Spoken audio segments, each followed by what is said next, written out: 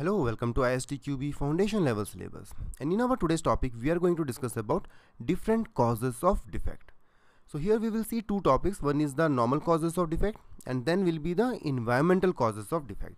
So now let's start with the first topic that is defect cause. So here we will see five different causes. So let's start with the first one. So the first cause could be time pressure.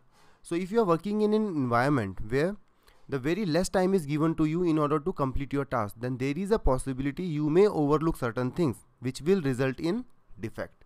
So that is how time pressure results in a defect. Now let's see the second cause. So the second cause is inexperienced or insufficient skilled people. So if you are in an organization where the people are not skillful then since they don't have an overall idea of the project that may result in a defect and that could be one of the cause of a defect. Now let's see the third cause which talks about miscommunication or misunderstanding. If there is no proper communication channel in, in your organization then that could also result in misunderstanding and in the end it will cause a defect.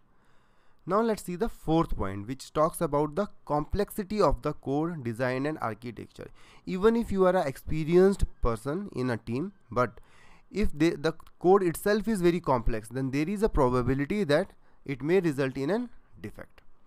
And now let's see the last point which talks about new unfamiliar technology. If there is a new technology on which you are working since there is a very less reference available for it there is a possibility it will result in an error.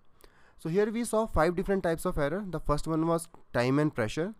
Inexperienced or insufficient skilled people miscommunication or misunderstanding, complexity of the code, design and architecture and the last one was if new or unfamiliar technology is introduced.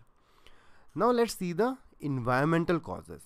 So the first of such cause could be radiation. So there could be a defect which will occur due to the radiation. The next one is a electromagnetic field. So you can see this particular example. It's a very famous example that when you travel in a flight, that time it is asked to you in order to switch off your mobile. So that, that is done in order to avoid this electromagnetic field interference. Now let's see the third point pollution. So if there is a dust particle on the sensor then that could also result in an uh, error and that is an environmental cause. And like these causes there could be many other causes also. So hope you have understood this particular point what are the different causes of defect. So that's that is it from this particular slide I will see you in my next lectures. Until then, happy testing.